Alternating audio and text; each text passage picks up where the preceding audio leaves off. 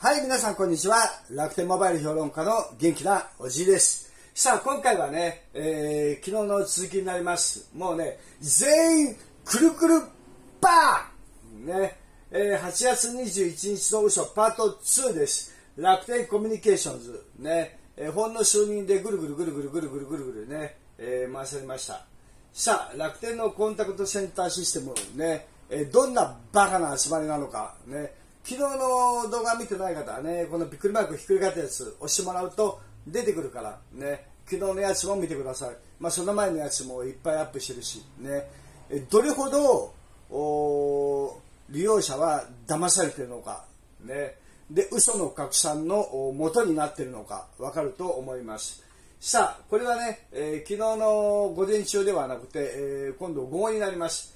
昨日はここで終わったんだね。えーこれね、12時6分ね、これ、えー8月13日のログインを確認しています。ね、えーここら辺、そんなこと聞いてねえよっていうね。で、えー今度は、あこれ、ね、えっ、と、18時25分ね、今度は、あのまた、不意が出てきた。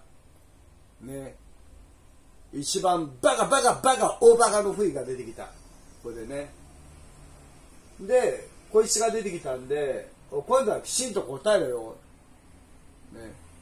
しっかりと最初に言ってきました。ね。今度はきちんと答えろよ。いい加減な嘘800しか言わない。ね。で、あの、コピペ、この度、あの、ね、ご案内、ふい、無視で、無視で、コピペ、ペペ、ペンで、で、交代。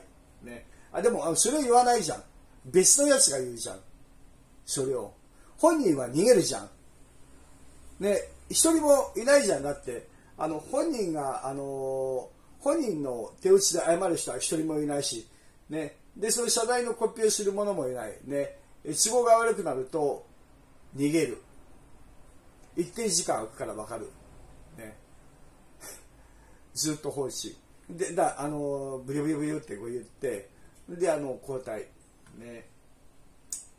バカな集まりだから。だ今度はきちんと答えるようでね。で、えー今度、あの、7月30日に三木谷 X からリンクを踏んでログイン。内容を確認して検討後、8月22日に申し込みした場合、最初のポイント配布は何月ですか、ね、午前中はあのまともな回答をする者が誰もいなかった。で、またこの、このバカに当たったから。ね、そしたらあ一度確認いたしますのでってこいつらさあのーもう同じ回答何度も何度もしてるのに、ね、なんで毎回一度確認するのこいつらって。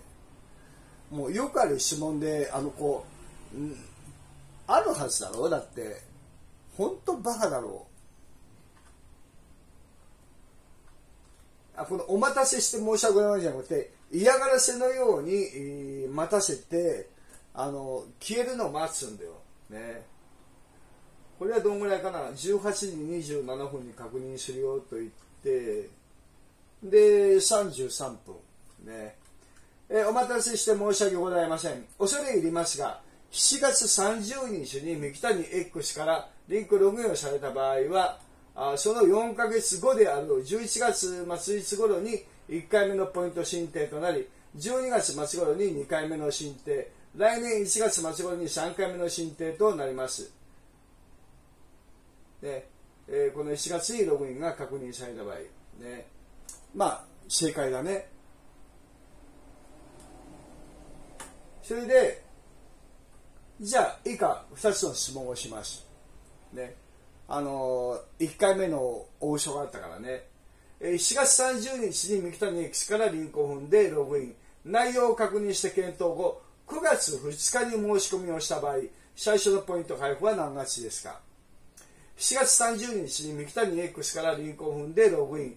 内容を確認して検討後10月10日に申し込みをした場合最初のポイント配布は何月ですか、ね、この質問をしました。そしたらあ返信ね。ご返信ありがとうございます。恐れ入りますがプランの申し込みプランの利用期限は紹介された方が URL をクリックして楽天 ID でログイン。以下、紹介ログインと言います。下日の翌々月末日23時59分までとなります。そのため、7月30日に三木谷 X からあリンクログインされ、9月2日、また10月10日に申し込みをした場合は、本キャンペーンの対象外となりますので、ご了承いただきますよう お願いいたします。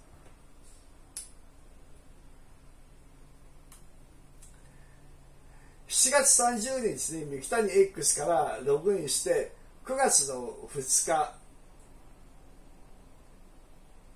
7月のログインがあったら翌々月っていうと89じゃん。でも9月または10月に申し込みした場合は本キャンペーンの対象外となりますと18時39分。ね、えー、18時39分だからね。あこれは早かったな本当シャンプーだね。ね。18時39分。ね。7月30日ログインをしても9月の2日ね10月の10日の申し込みはキャンペーン対象外です。でこのまたこの大バカのね午前中も大嘘しか言わないねこのバカ食いね大バカ食いがまたホラーを吹いてます。わかるでしょ？ねえ。こいつがどれぐらいバカかわかるでしょこれ。ねえ。ここのバカはねコピペをしてるけどその意味を理解できてないバカな外人なんです。わかる？自分が何を言ってるのか理解できない。わかる？日本語を理解できない外人をなぜ使う？日本語を理解できない外人とかあとあの日本語を理解できないねあの障害者をなぜ使う？サポートができない障害者をなぜ使う？日本人含めて。別のところで別の部署で使えよ。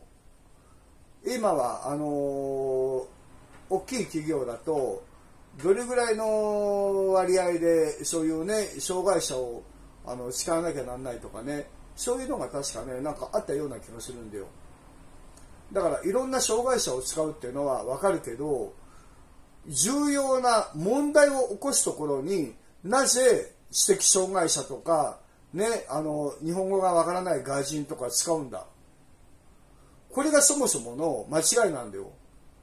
おじいは障害者とか外人を使うなと言ってるわけではない。適材適所というものがあるんだ。重要なルール、間違ってはならないものを、それのサポートのところでなぜ知的障害者とか日本語を理解できない外人を使うんだ？これをずっと何で何年も放置しておくんだもともと楽天コミュニケーションズブラック企業でねすごい評判の悪いところそこに委託していたで思うようにやってくれるからねあのじゃあ買っちゃえねえー、国費使ってやれ。ね。その魂胆、三木谷の。ね。おい、三木谷お前見てるか？おい。楽天モバイルの直通ダイヤルをやらないで、ね。0570じゃないのはまだマシだけども、全部そういった受付をね、買い取った吸収したグループに。これやって特殊詐欺集団じゃないか三木谷お前のやってることは。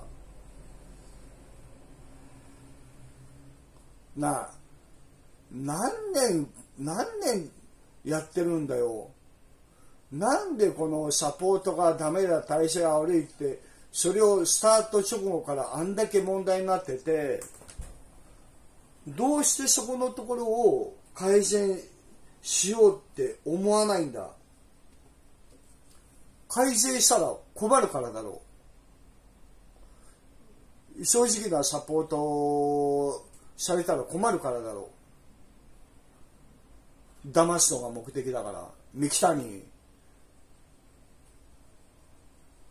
おい三木谷お前がここに来るかおじいがそっちに行くかおい連絡よこせよ。お前の腹の中どうなってんのか聞かせろよ一回。楽天モバイルスタートする前からずっとさ応援し続けてねなんだかんだどうせ楽天は大きくなったらどうせセリケと同じようになるんだよでね分かっちゃいるけれどもしかりね今のうちだけでどうせ見たら無駄しかなくなるしどうしてまた高くなるんだよ今だけでもいいこと言ってるのは、ね、あの品質が悪い分だけ安いのは当然だしそれでも楽天がいてくれれば競争もありだしね、そういう人たちの期待を背負って、ね、いいものはいいダメなものはダメで、ね、一生懸命こうやっておじいも人生をかけて、ね、楽天モバイルが国民の期待に応えるような、ね、有言実行するのかなと思って、ね、ずっと温かい目で見守ってきているのに、ね、なぜ裏切り続ける三木谷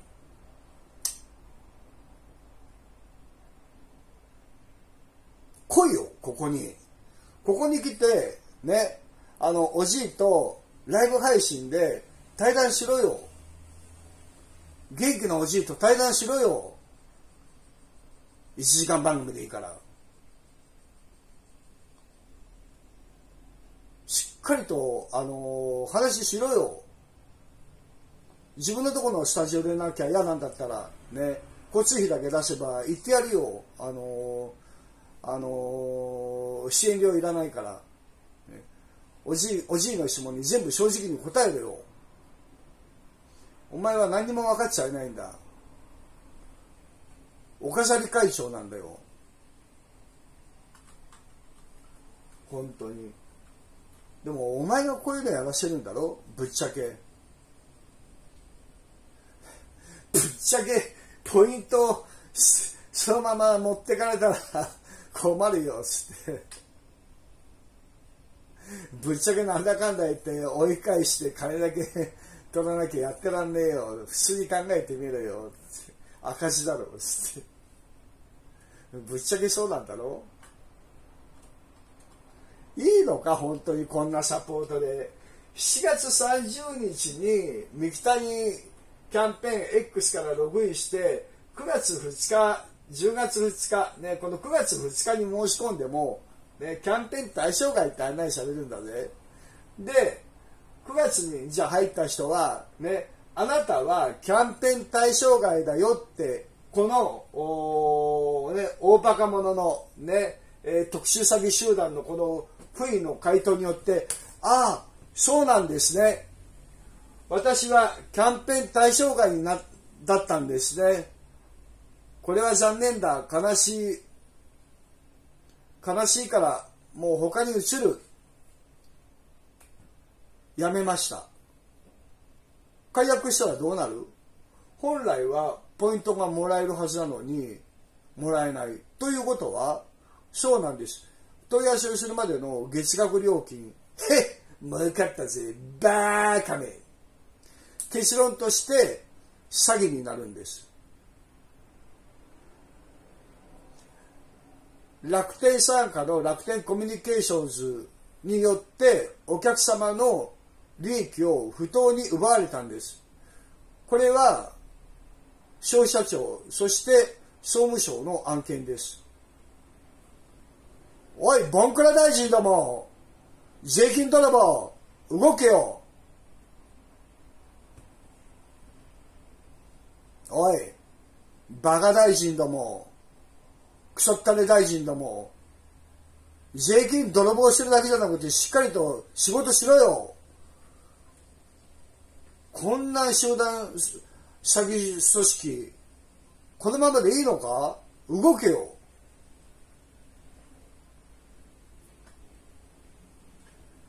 ということで、7月30日と翌々月って8月末なのですか？こういったら今度ね犬島が出てきた。ワンワンワンワンワンワン。犬島が来ちゃったよ今度。ほら都合が悪くなっちゃった。ある？ふいが18時39分に、ね、この回答をした。ただ、おじいはその40分に、4月30日は翌日って8月末なんですか。そしたら、ね、これ、40分だよ。いい ?40 分だよ。40分。18時40分にね、30日の翌日8月末なんですかって言ったら、もうそこから都合が悪くなって、ね、あの放置。だ今度見て、18時50分だよ。10分間の放置だよ。だから、あのー、なんか、なんかおかしいあれですか、えー、なんかまた間違えてしまいました、なんとかしてください、みたいな。それが10分。ね、それで、今度は犬島が出てきた。ね誠に恐れ入りますが、内容についてお調べいたしますで、だお前らお調べしないじゃないか。なあ、全然お調べしないじゃないか、内容について。で、少々お待ち。少々じゃねえだろ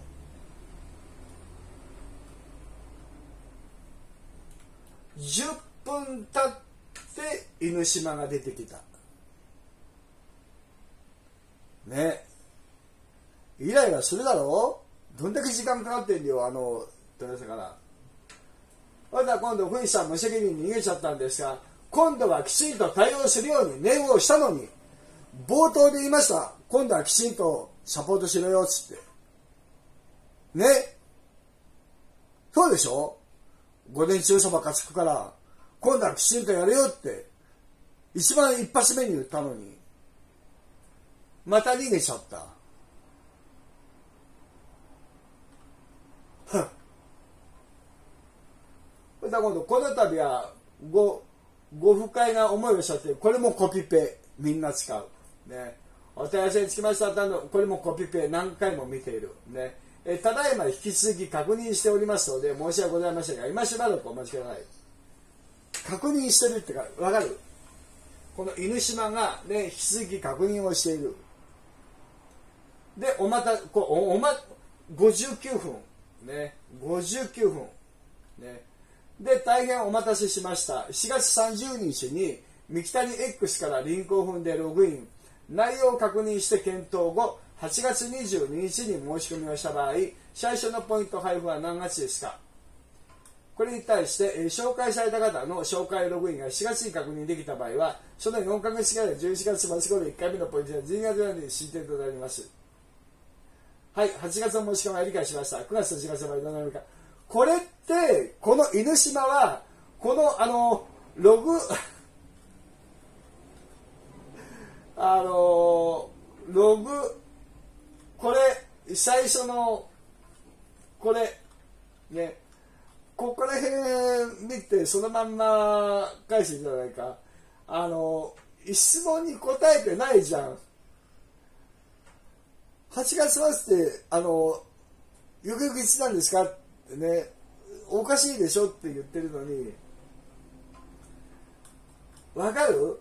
またあのここはバカしかいないのか？本当。これ見てる人わかる？あのあのパート1も見たでしょ？ね。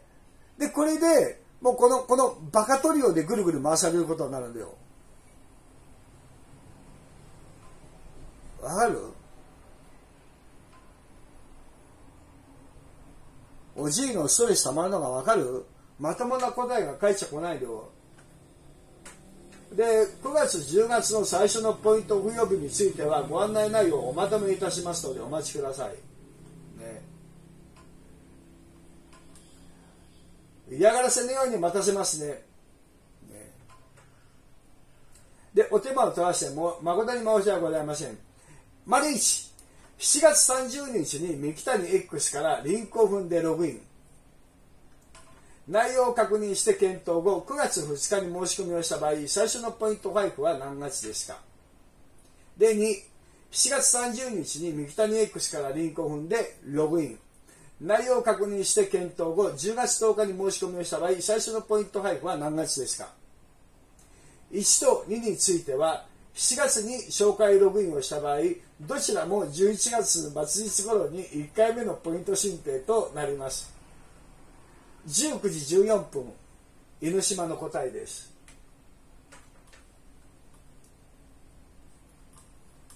犬島の答えです。いい7月30日に三木谷 X から、ね、リンクを踏んでログインをして10月10日要は7月7月にログインして8910月だ1ヶ月後2ヶ月後3ヶ月後に申し込みをしても11月末日だ翌月にポイント配布。これが楽天コミュニケーションズのこれまた犬島犬島の回答です。わかる？同じ楽天コミュニケーションズなのにどちらも配布されませんの答えとねどちらも配布されますの答えがあって9月は有効10月は無効の答えが来ないんですわかる？これさ、わざとやってるだろう。これ、正解を出さない、不正解しか言わない。これなんでかわかる？ねえ。もらえるのに、もらえないと思わして、やめて月額料金だけ取るか、ね、せっかくポイントを配布対象なのにね、諦めさせてやめさせるか、それともね、対象対象外なんだけど、ね、もらえますって嘘を言ってでワクワクして4か月 ,4 ヶ月間またしてポイントで「なんで?」対象外でございますって。それを狙ってる回答だろう両方とも。これ見てる皆さんコメント書いてくれよどう思うか。でバカによっては間違った内容こんなにいっぱいあって正解がなくてでこうですああですってあちこちで書き込んでね、あの、楽天に聞いたらこうだった。ね、あの、こうやって言ってるから間違いないんだで。これで広がるんだよ。わかるか？三木谷、見てるか？クソタレのバカ三木谷。楽天モバイルがこんなサポートで伸びるわけないじゃないか。サポートがダメな会社っていうのはみんな潰れるんだよ。バカったれな。で、最初のね、えー、あのー、両方的な、それでは、ふいさんは嘘の案内をして私を騙したという認識でよろしいですね。犬島さんは7月のログインで10月の申し込みでも、翌日の11月からポイントが配布の回答ですね。これも初めてのケースですが、嘘ではないですね。ね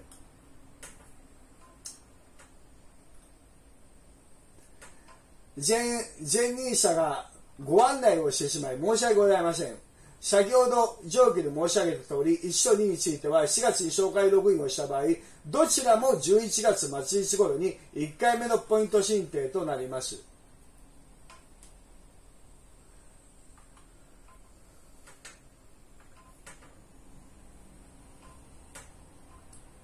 で、またしばらくお待ちくださいなって、ね、宮口、今度は宮口、これ19時22分に犬島がね、このコメントして、今度、上記案内につきまして分かりにくい点やご不明な点がございましたらお知らせいただきましょう。幸いでございます。宮口が出てきた。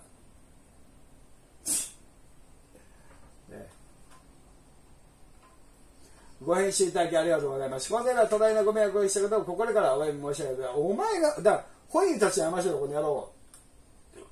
今後このようなご迷惑をおかけすることないよう一層注意してまいります。宮口。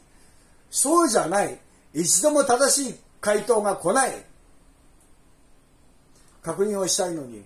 どっちが本当なんだだ、ここ、全員が、ね、間違っていた。じゃああなたは正しいのわかる？で、あの、このようなことがないようにって、でしっかり私はあんながね、嘘だと思います。ね。えー、これキャンペーン開始期間。ね。これね、おじいがこれあのホームページからコピーしてやってるよ。あの、キャンペーンページ、キャンペーンコード、ね、キャンペーン期間、ね。で、エントリー期間っていうのがあって、このエントリーの期間、これね、エントリー期間があって、で、えー、プランのお申し込みの利用開始期限、ここのところに紹介された方が収集したメッセージ記載の URL、ね、リンクをクリックしたらクテ ID で、えー、まあ、以下、紹介ログインと言いますした翌々月末までです。これが、プラン利用開始の期限なんです。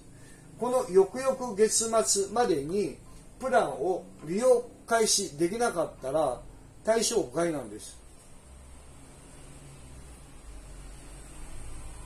だ厳密に言うと、厳密に言うと、おじいの質問は、法律的に言うとよ、あの、申し込みをした場合、いつポイントがもらえますかって言った場合、サポートとしては、ね、えー、お申し込例えば有効期間内、要は7月にログインしたら、ね、えー、よ翌々月末、つまり8月、9月末日までにプランにお申し込みをいただき、そして、えー、実際に開通してご利用いただく、ね、プランの開始、これこの条件が揃うのが2ヶ月末までの期限でございます。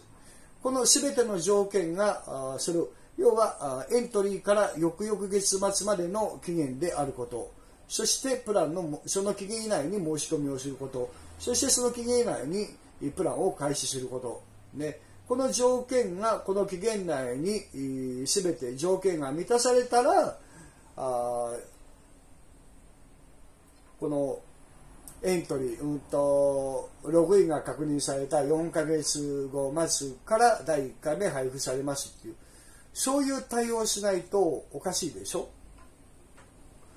要はあプランの、プランの申し込みをしても、お開通しないで終わっちゃう人もいるんです。申し込みさえすれば、ね、じゃあ、あの、申し込みさえすれば受け取り拒否をしたとか、ね、結局、あやっぱ乗り換えやめようって、乗り換えやめたいとか、ね、でもその条件として、申し込みが条件なんだったら、申し込みした段階でもそこでキャンセルしてももらえないとおかしいでしょ？ね、だからね、そういった内容をね、ちゃんと言わないとね、ダメだし、ね、で、翌々月末っていうのが7月だったら、9月末までっていう認識がちゃんと正しくできるのが誰もいない。で、このように記載があります。ログインした翌々日、翌々月末日2時59分まで、ね、えー、明確に記載されています。キャンペーン期間についてでございまして、ご認識の通りとなっております。宮口さん、違いますよ。あなたも間違ってますよ。プランのお申し込み、プランの利用開始期限と書いてあるじゃないですか。だからこの、あのー、ね、キャンペーン期間のことを言ってないよ。ね、おじいはあのいついただけますかって期間のことを聞いてない。この時に入ったらあいつもらえるんですかっていうこの条件のことを聞いてるわけでその条件については期日なんですだからこのこのだからキャンこのキャンペーン期日このねエントリー期間あとプランお申し込みプラン利用開始期限こここの問題プランお申し込みのプラン利用開始期限このここなんですあプラン利用開始期限でございますねってここなんだよ項目はこの内容の項目はここなの。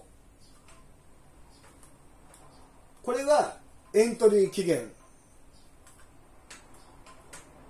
項目が違うんだよ。あのー、なんでさ、バカしかいないの誰一人としてまともな手を知る者はいない。ね。本当ね。で、ご不快のまりしたじゃ、まあ、現在のお客様のおご懸念点を教えていただけますかっていうから、ね。この流れでわからないもうでも19時35分におじいはもう呆れてやめましただってだってご飯ご飯買いに行くよ18時25分だよ18時25分だよ。18時25分からね。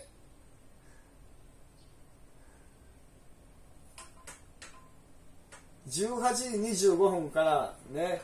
19時35分だよ。1時間以上経ってるんだよ。1時間以上経ってね。えー、この時にエントリーしてここで申し込んだからね。あのハイファイ1からですかって一緒に1時間以上経ってもこの状態だよ。でご懸念点を教えていただけますかもうお話にならないだろう。ねえ。ご飯買いに行くよ。でもご飯買いに行けなかったんだよ。これまとめてて。で結局夜中にあの冷凍チャーハンになっていつも半分だけどムカついてたから1個丸ごとやったらムカついて寝れなくなったんだよ、ね、まあ結局全ての嘘のね拡散源ねこの楽天コミュニケーションズなんです。わかる？もらえるはずのポイントをもらえないと思わし思わせる。もらえないのにもらえると思わせて引っ張る。その役目なんです。この流れ。全員くるくるパー本当。ある三木谷この動画見ろよ。